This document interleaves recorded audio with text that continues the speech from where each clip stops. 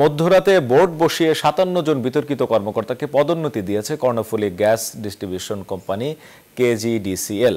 পদোন্নতি পাওয়াদের মধ্যে পেট্রো বাংলার প্রশাসন বিভাগের পরিচালক আয়ুব খান চৌধুরীর দুই ছেলে সহ দু হাজার এগারো সালে জালিয়াতি করে নিয়োগ পাওয়ার, পাওয়ায় অভিযুক্ত বত্রিশ জন কর্মকর্তা রয়েছেন।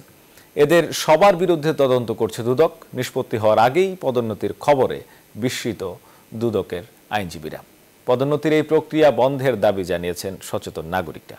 চট্টগ্রাম থেকে নয়ন বোর্ড অজয়ের তথ্য ছবিতে দেখুন ডেস্ক রিপোর্ট। নিয়োগ নিয়ে রয়েছে বিতর্ক। কারও সার্টিফিকেট নেই, কেউ নিয়োগ পরীক্ষায় পাশই করেনি। অথচ দশ বছর ধরে চাকরি করছেন কর্ণফুলী গ্যাস ডিস্ট্রিবিউশন কোম্পানিতে।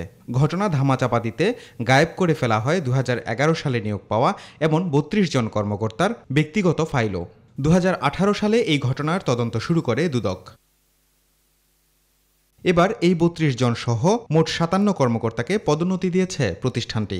গেল বিশ আগস্ট মধ্যরাতে বোর্ড বসিয়ে বিতর্কিত এই পদক্ষেপ নেয় পরিচালনা পর্ষদ।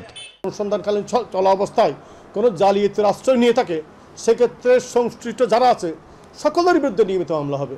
পদোন্নতির জন্য মনোনীত বেশিরভাগ কর্মকর্তার ব্যাপারে দুদকের ক্লিয়ারেন্স নেয়ার নির্দেশ দেয় পেট্রোবাংলা। কিন্তু সেই নির্দেশনা না মানার অভিযোগ রয়েছে। যদিও ইঞ্জিনিয়ারিং সার্ভিসেস বিভাগের মহাব্যবস্থাপক সেটা অস্বীকার করছেন। আমাদের যে দশ সদস্য বিশিষ্ট কমিটি আছে পেট্রোমালার কনফারেন্স রুমে এই পদোন্নতির কার্যক্রম মূল্যায়ন হয়েছে। সেখানে প্রতিটা প্রত্যেকটা ক্যান্ডিডেটের ব্যক্তিগত নথি পরীক্ষা করা হয়েছে। তবে কর্মকর্তাদের অনেকে বলছেন পদোন্নতির পুরো প্রক্রিয়াটি অনিয়মে ভরা। প্রমোশন হবে দিনের বেলা। রাতে বারোটা একটার সময় অর্ডার বাড়িব কেন? আমাদের কথা হলো যথাযথ যথাযথ প্রমোশন হোক আমাদের আপত্তি নেই। দ্রুত এই প্রক্রিয়া বাতিল ও জড়িতদের বিরুদ্ধে ব্যবস্থা নেওয়ার দাবি জানিয়েছে সুশাসনের জন্য নাগরিক ও সচেতন নাগরিক committee.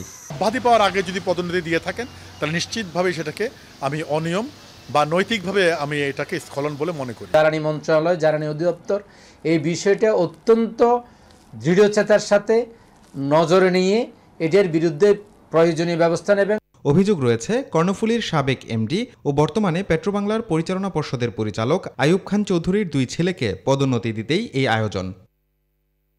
Desk report, news twenty